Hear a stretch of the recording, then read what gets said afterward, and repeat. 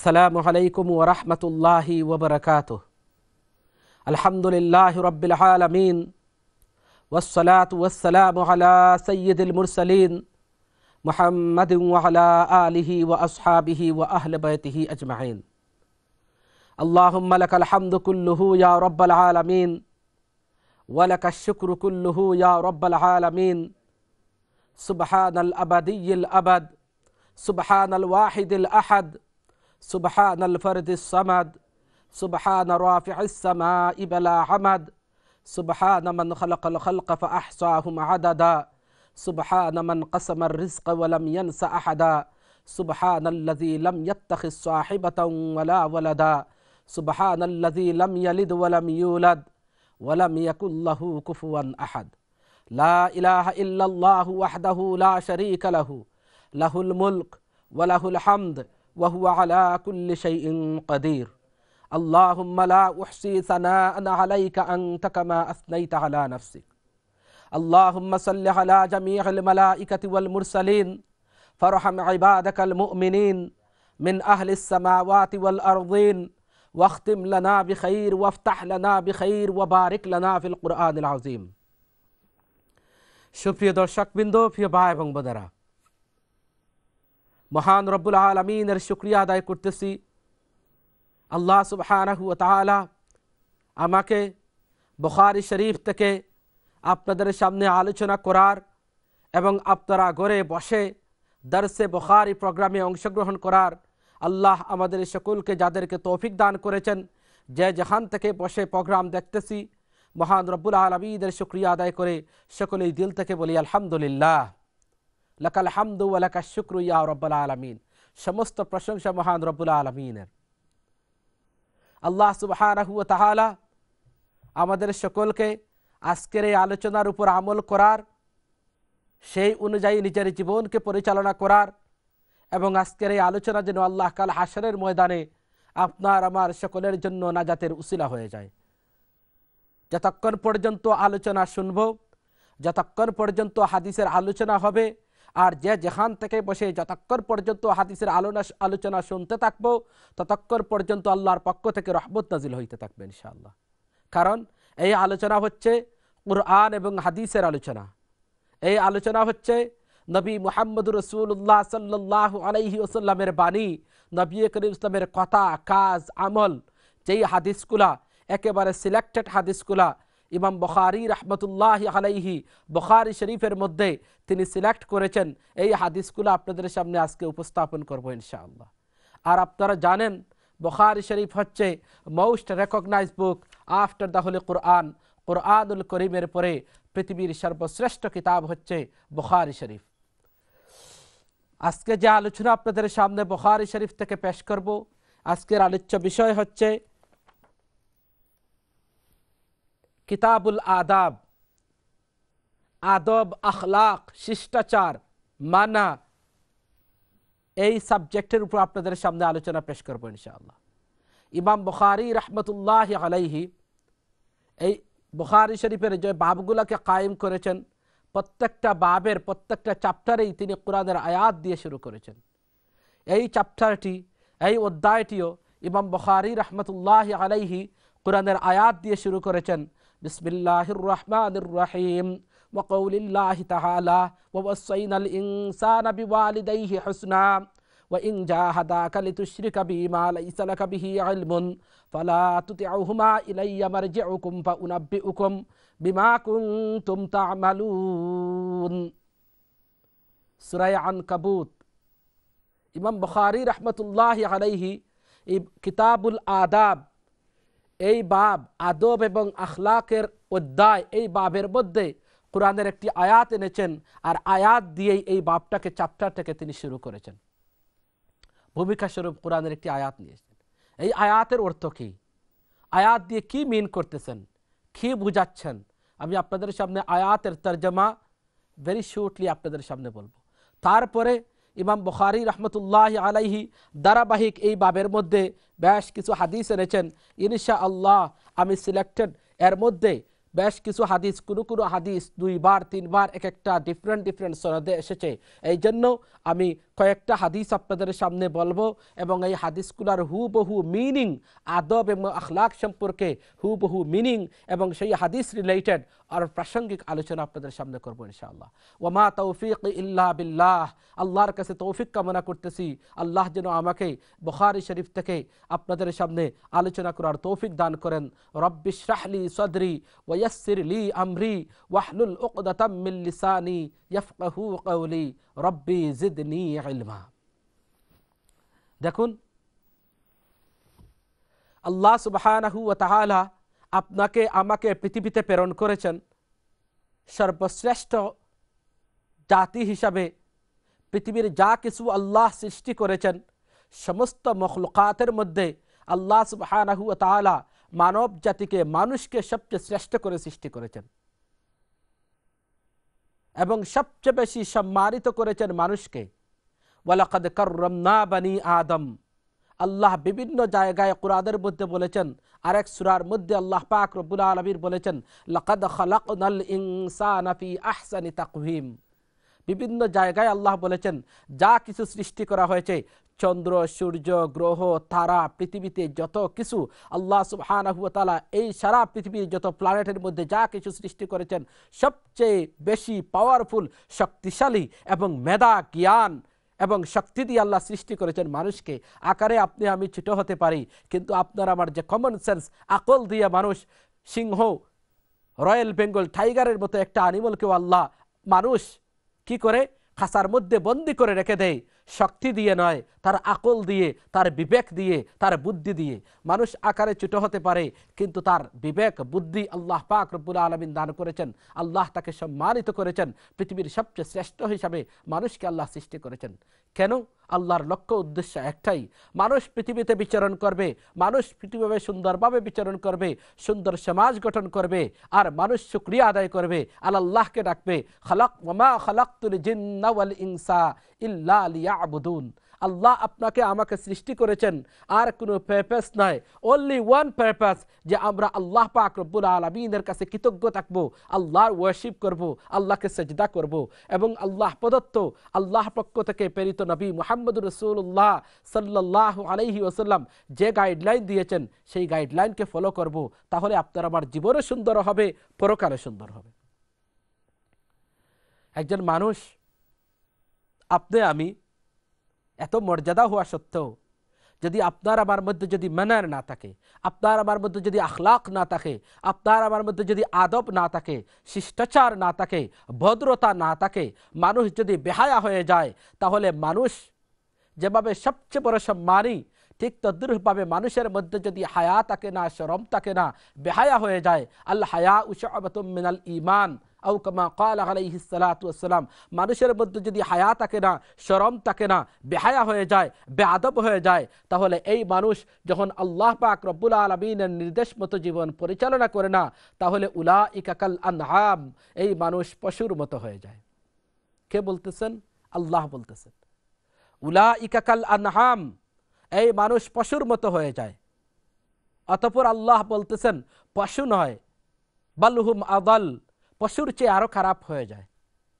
মানুষ যখন তার নিজেকে সে পরিচয় হারিয়ে ফেলে, মানুষ যখন তার অস্তিত্বকে হারিয়ে ফেলে, মানুষ যখন তার নিজেকে চিনতে পারে না এই জন্য বলা হয়, মান আরাফা নফসাহু, ফকদ আরাফা রব্বাহু। যে মানুষ তার নিজেকে চিনতে পারল, যে মানুষ নিজেকে জানতে পারল, সেই মানুষ আল্লাহকে চিনতে পারে। আর যে মানুষ নিজেকে চিনতে পারে না, সে মানুষ আল্লাহকেও চিনতে পারে না। সে মানুষ পশুর মতো জীবন যাপন করে, তার মধ্যে কোনো মানুষত্ববোধ থাকে না। এই জন্য সুন্দর জীবন যাপন পরিচালনা করার জন্য, আমাকে সুন্দরভাবে দুনিয়াতে বসবাস করার জন্য, আমাকে আদব এবং আখলাক আমার মধ্যে থাকতে হবে, আমার মধ্যে নবীর আদর্শ থাকতে হবে, আমার মধ্যে সামাজিক শিষ্টাচার থাকতে হবে এই সব যদি আমার মধ্যে না থাকে, তাহলে একজন মানুষ মানুষ তো দূরের কথা, পশুর চেয়ে আরবত্তর হয়ে যায় এই পৃথিবীতে আমি কীভাবে জীবনযাপন করব। কার সাথে সুন্দর আচরণ করব। কার সাথে কেমন বিহেভ করব। কার সাথে কীভাবে উঠা বসা করব। এগুলা কোথায় থেকে আমি পাবো? এগুলো শিক্ষা দিয়েছেন বিশ্বনবী মুহাম্মদ রসুল্লাহ নবী করিম সাল্লাহ কার সাথে কি আচরণ করবেন? আমি কীভাবে জীবনযাপন করব? সব কিছু নবী ইসলাম তার বাস্তব জীবনে প্র্যাকটিক্যাল জীবনে সব শিক্ষা দিয়েছেন। সর্বপ্রথম আসুন, আমরা হাদিসের দিকে চলে যাই। আমরা দেখি পৃথিবীতে সবচেয়ে বেশি কাকে আমি মহাব্বত করব? আল্লাহ রসুলের পরে সর্বপ্রথম কথা হচ্ছে তো, আমি গুলামি করব আল্লাহর। পথ পথ অনুসরণ করব নবী মোহাম্মদ রসুল্লাহ আসলামের নির্দেশিত পথে। আল্লাহ রসুল পরে পৃথিবীতে আমি তার কাকে বেশি মহাব্বত করব। যেহেতু হাদিস হচ্ছে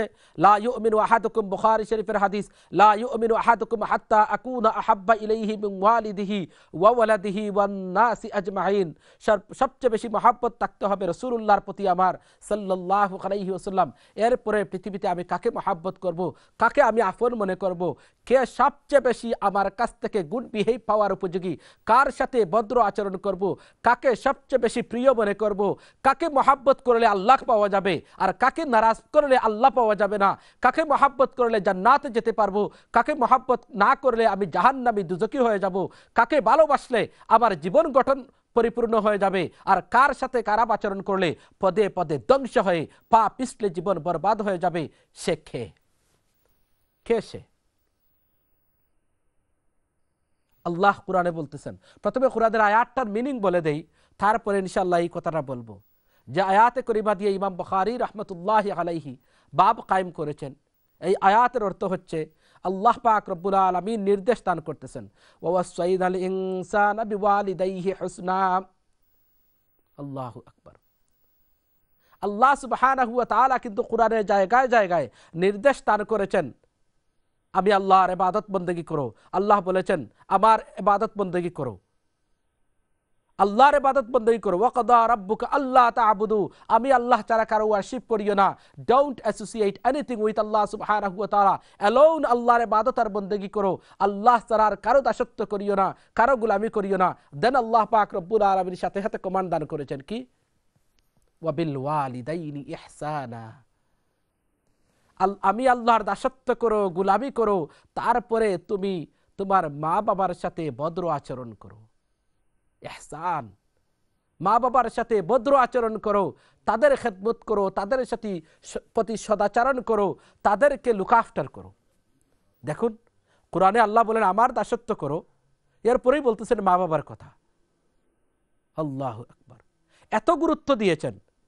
ইন জাহাদাকা সুরাই লোকমাদের মধ্যে বলা হয়েছে ও ইন জাহাদাকা হালা আন তুশরিকা বি মা লাইসা লাকা বিহি ইলমুন ফালা তুতিউহুমা ওয়া সাহিবুহুমা ফিদ দুনিয়া মারুফা আল্লাহ পাক রব্বুল আলামিন বলেন তোমার মা বাবা আমি আল্লাহর দাসত্ব করো, গুলামি করো, আমার পথে জীবন পরিচালনা করো। এরপরে যদি ভালো ব্যবহার করতে হয়, তাহলে সবচেয়ে বেশি উত্তম ব্যবহার করো তোমার মা বাবার সাথে। মা বাবার সাথে খারাপ আচরণ করিও না মা বাবার সাথে ভদ্র আচরণ করো। ওয়ালা তাকুল্লাহুমা উফিম ওয়ালা তানহারুহুমা, ওয়াকুল্লাহুমা কাউলান মারুফা। ওয়াকুল্লাহুমা কাউলান মারুফা। আল্লাহ পাক রব্বুল আলমিন বলেন, আমি আল্লাহর এবাদত আর বন্দেগি করো, অতপর তোমার মা বাবার সাথে ভালো আচরণ করো, মা বাবার সাথে সুন্দর আচরণ করো, মা বাবার সাথে গুড বিহেভ করো, কোথায় কোথায় মাকে গালি দিও না, কোথায় কোথায় বাবাকে দাবরি মারিও না, মা বাবা যদি নাফরমানো হয়ে যান, মা বাবা যদি মুশরিকও হয়ে যান, মা বাবা যদি নামাজ নাও পড়ে, মা বাবা যদি গাঞ্জাও খায়, মা বাবা যদি ডাকাইতো হয়ে যায়, মা বাবা যদি তোমাকে প্রেশার ক্রিয়েট করে আল্লাহর সাথে কাউকে পার্টনার ক্রিয়েট করার জন্য এমন মারাত্মক কথাও যদি তোমার মা বাবা বলে মা বাবা নাফরমানি করতেছে জোয়া খেলতেছে গাঞ্জা খাইতেছে মা বাবা বেআবি করতেছে চূড়ান্ত নাফরমানি করতেছে ইভেন লাস্ট মিনিটও আপনাকে এই কথাও বলতেছে যে তুমি আল্লাহর সাথে কাউকে পার্টনার ক্রিয়েট করার জন্য আল্লাহ বলেন وإن جاهدك على أن تشرك بي ما ليس لك به علم فلا تطعهما তাদের এই সমস্ত কথা তুমি শুনিও না কিন্তু একতার অর্থ এই নয় যে মা বাবা নাফরমান হয়ে গেছেন, এই জন্য তাদের সাথে বেআবি করবে। আল্লাহ বলেন, না, ও সাহেবুহমা তাদের সাথে ভালো ব্যবহার করো। তাদের কথা শুনিও না, তাদের অন্যায়কে মেনে নিও না, অন্যায়কে প্রশ্রয় দিও না, কিন্তু তাদের সাথে খারাপ আচরণ করিও না। ওয়াকুল্লাহুমা কাউলান কারিমা, মা বাবার সাথে নরম আচরণ করো, সফট ভাষায় কথা বলো হ্যাগ্রি মেরে কথা বলিও না। দাবরি মেরে কথা বলো না। নরম ভদ্র ভাষায় কথা বলো। মা বাবা যখন বৃদ্ধ হয়ে যায়, তখন মা বাবা কথা বুঝে না। এক কথা বারবার রিপিট করে, আল্লাহ পাক, আল্লাহর নবী বলেন, আল্লাহ আকবার। আমি হাদিসের দিকে চলে যাই, তাহলে কথাগুলো বুঝতে সুবিধা হবে। ইমাম বুখারি রহমতুল্লাহ আলাইহি আদব এবং আখলাক কিতাবুল আদাব থেকে সর্বপ্রথম যে হাদিসটি এনেছেন কার সাথে আদাব রক্ষা করবেন কার সাথে ভালো ব্যবহার করবেন যে কথাটি একটু আগে বলেছিলাম যে কার সাথে আপনি সবচেয়ে বেশি কাকে মহাব্বত করবেন কাকে বেশি ভালোবাসবেন কার সাথে সুন্দর আচরণ করবেন হাদিসের দিকে চলে যাই তাহলে বুঝতে পারবেন কারণ আবদুল্লাহ ইবনে মাসউদ রাদিয়াল্লাহু তাআলা আনহু قال قال سألت النبي صلى الله عليه وسلم أي الأعمال أحب إلى الله قال الصلاة على وقتها قال ثم ثم أي قال بر الوالدين؟ قال ثم أي قال جهاد الجهاد في سبيل الله؟ قال حدثني بهن ولو استزنته تزدته لزدني. عن أبي هريرة رضي الله تعالى عنه قال جاء رجل إلى رسول الله صلى الله عليه وسلم فقال يا رسول الله من أحق بحسن صحابتي؟ قال أمك. قال ثم من؟ قال أمك. قال ثم من؟ قال أمك. قال ثم من؟ قال ثم أبوك. عن عبد الله بن عمرو رضي الله تعالى عنه قال قال رجل للنبي صلى الله عليه وسلم مجاهد قال لك أبوان. قال نعم. قال فقيهما.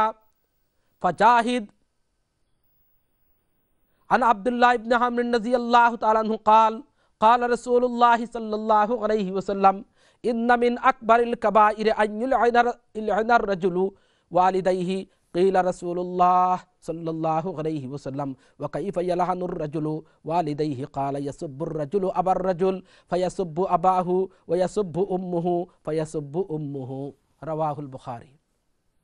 নবী করিম সাল্লাহ আলাইহি ওসাল্লাম আবদুল্লাহ ইবনে মাসউদ রাজি আল্লাহ তালানহু ওয়ান অফ দ্য ফেমাস সাহাবি তিনি বলতেছেন একজন লোক জিজ্ঞেস করল, আইয়ুল আমাল সাআলতু? তিনি কালা সাআলতু, আমি রসুল্লাহকে জিজ্ঞেস করলাম যে, আইয়ুল আমাল উইচ অ্যাসপেক্ট অফ আমাল উইচ অ্যাসপেক্ট অফ ডিড কোন আমলটা আল্লাহর কাছে সবচেয়ে বেশি প্রিয়? আহাব্বু ইল আল্লাহ আল্লাহর কাছে প্রিয় আমল কুলটি তখন আল্লাহর নবীর প্লাই দিলেন নামাজের সময় হয়ে গেলেই একেবারে অন টাইমে নামাজটা পড়ে নেয়া সবচেয়ে উত্তম। নামাজের সময় হয়ে গেছে, একেবারে পারফেক্ট টাইম বিগিনিং টাইমে নামাজ পড়ে নাও। দিস ইজ দ্য ইম্পর্টেন্ট আমাল উইচ আল্লাহ লাভ আল্লাহ ভালোবাসেন এই আমলটাকে। অতপর সুম্মা আইয়ু, অতপর তিনি জিজ্ঞেস করলেন, ইয়া রসুল আল্লাহ অতপর কোন আমলটি আল্লাহর কাছে সবচেয়ে বেশি প্রিয়? কালা বিরুল ওয়ালিদাইন। আল্লাহ আকবর। তখন নবী করিম সাল্লাহ বললেন, বিরুল ওয়ালিদাইন। মা বাবার সাথে সুন্দর আচরণ করা, মা বাবার সাথে ভালো ব্যবহার করা, মা বাবাকে সুন্দর করে কথা বলা, মা বাবার সাথে নরম ভাষায় কথা বলা, মা বাবার খেদমত করা, মা বাবাকে লুকাফটার করা, মা বাবাকে হেগ্রি না দেখানো, মা বাবাকে একেবারে নিজের জান থেকেও বেশি মহাব্বত করা। আল্লাহর নবী বলেন, বিরুল ওয়ালিদাই মা বাবার খেদমত করা, মা বাবার সাথে সদাচরণ করো। অতপর সাহাবি বলেন, কালা সুম্মা আইয়ু অতপর তিনি বলেন, আমি জিজ্ঞেস করলাম, ইয়া রসুল্লাহ তারপরে কোন আমলটি সবচেয়ে বেশি প্রিয়? তিনি বলেন, আল জিহাদ সাবিলিল্লাহ, আল্লাহর রাস্তায় জিহাদ করা হচ্ছে, এরপরে উত্তম আমল। কালা, হাদ্দাসানি। তিনি বলেন, বিহিন্না ওয়ালা বিস্তাজাত্তুহু লাজাদানি।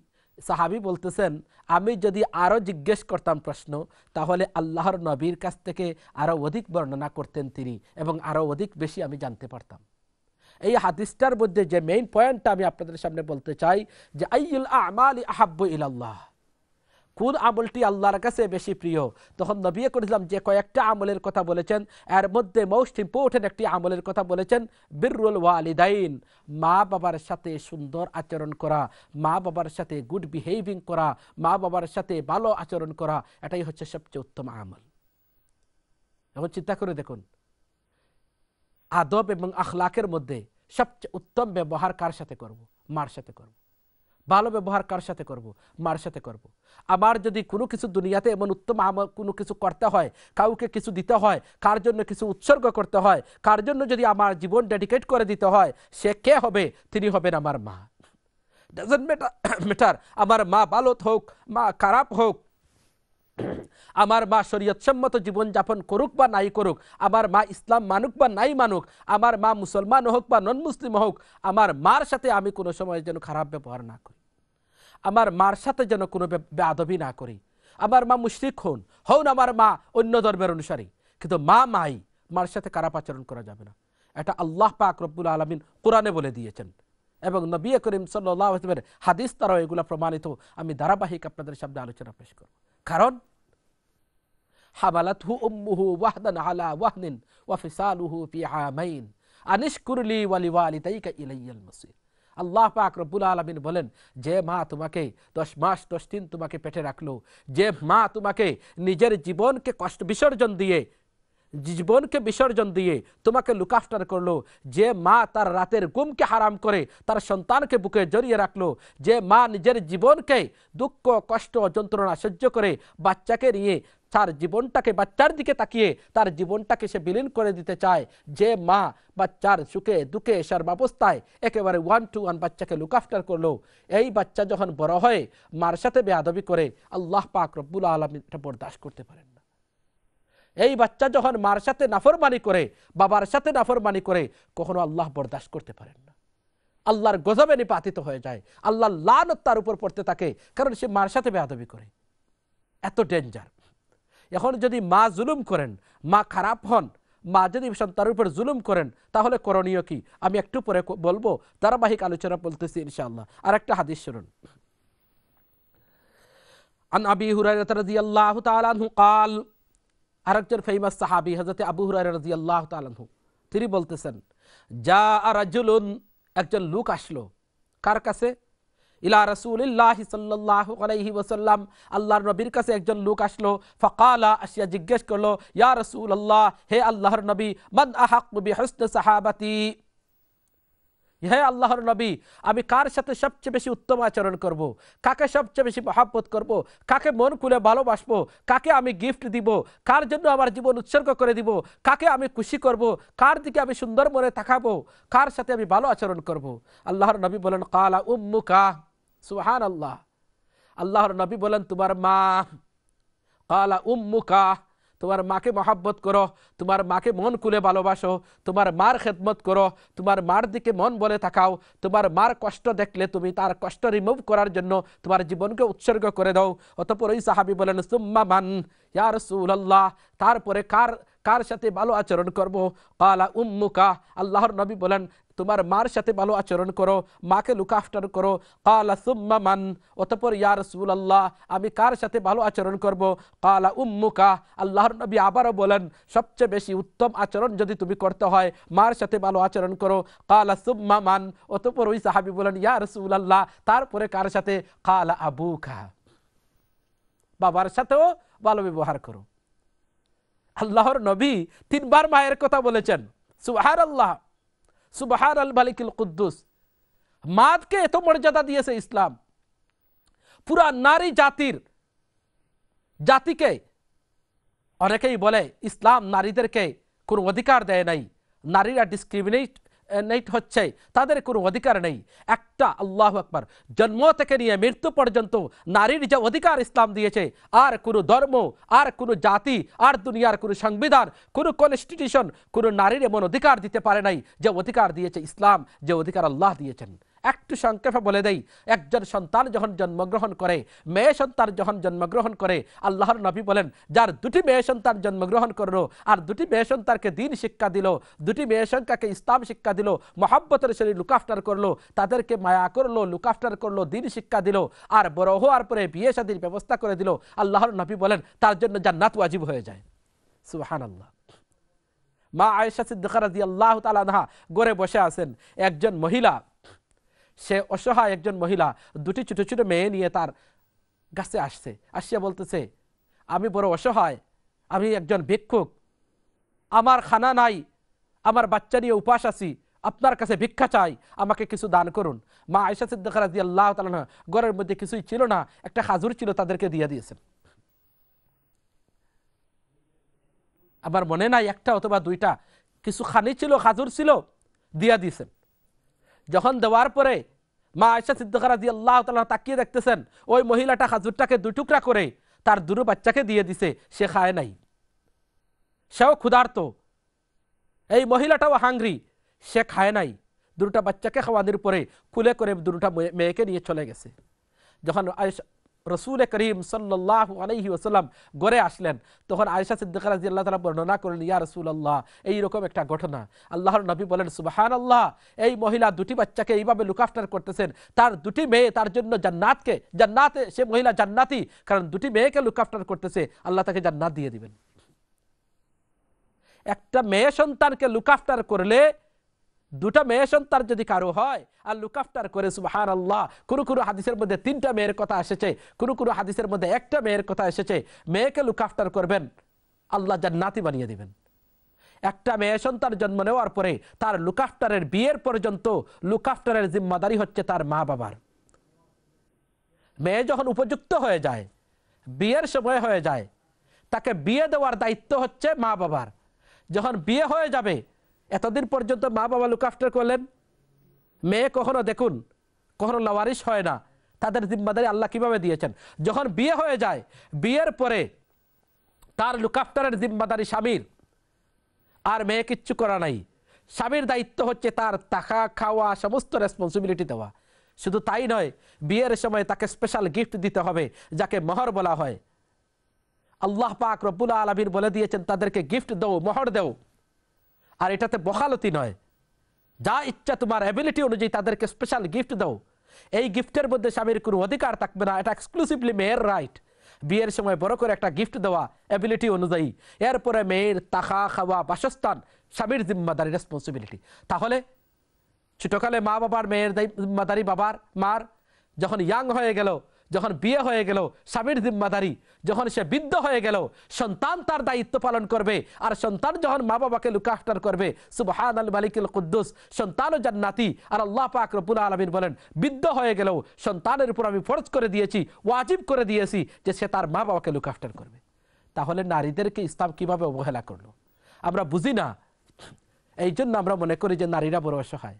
আল্লাহ তাদেরকে ইজ্জত দান করেছেন সম্মান দান করে কন্যা সন্তান হিসেবে তাদের ইজ্জত দান করেছেন স্ত্রী হিসেবে তাদের মর্যাদা দান করেছেন সুবহান আল্লাহ হ্যাঁ এবং মা হিসেবে তাদের মর্যাদা দান করেছেন দেখুন আল্লাহর নবী একজন মা হিসেবে তার কি মর্যাদা দিয়েছেন আনাবি হুরাইরাত রাদিয়াল্লাহু তাআলা আনহু قال قال رسول الله صلى الله عليه وسلم جاء رجل إلى رسول الله صلى الله عليه وسلم فقال يا رسول الله من أحق بحسن صحابتي قال أمك قال ثم من قال أمك قال ثم من قال أمك قال ثم من قال أبوك رواه البخاري তিনবার মায়ের কথা বলেছেন মাকে ভালোবাসবে মাকে মহাব্বত করবে মার সাথে বেয়াদবি করা যাবে না মাকে নারাজ করা যাবে না মার সাথে খারাপ আচরণ করা যাবে না এরপরে তিনবার প্রশ্ন করেছেন ইয়ে সাহাবি বলেন ইয়া রসুল্লাহ তারপরে আরেক কার কথা কাকে মহাব্বত করব বলেন তোমার মার সাথে বলে, ইয়া রসুল্লাহ মার কথা তো বললেন দুইবার। তারপরে কার?